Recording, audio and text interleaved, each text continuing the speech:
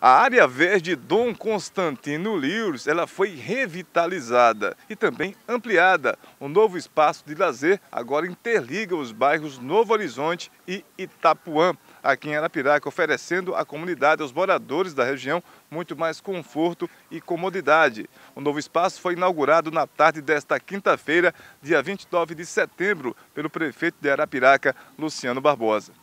Ela vai daqui da, da Avenida Cunha até a L220.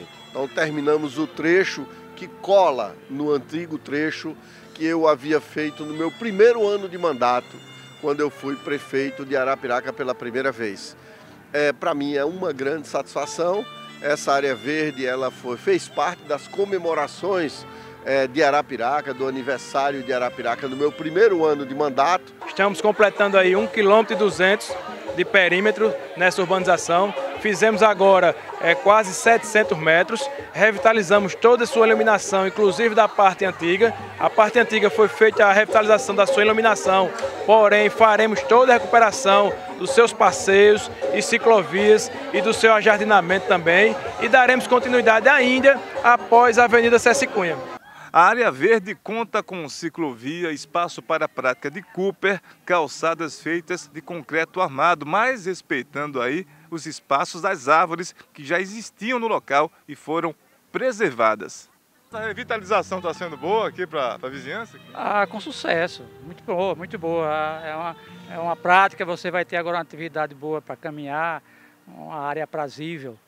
É, e até o, as condições que dá para você fazer sua caminhada, andar de bicicleta, tem a criançada toda aqui que mora aqui ao redor, já tem os brinquedos, né? A praticar.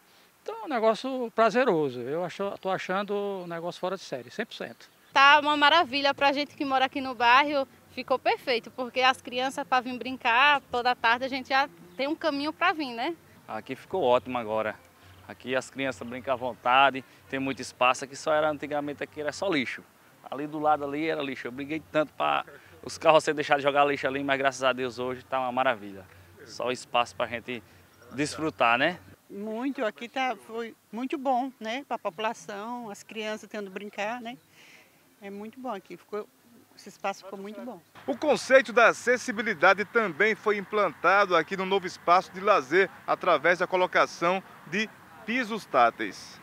Os usuários também do novo espaço de lazer vão contar, olha só, com novos equipamentos, uma nova aparelhagem para atividades físicas e a ampliação da área verde vai até, chega até a rodovia AL220, onde no local foi construído também um ponto de ônibus para beneficiar a população.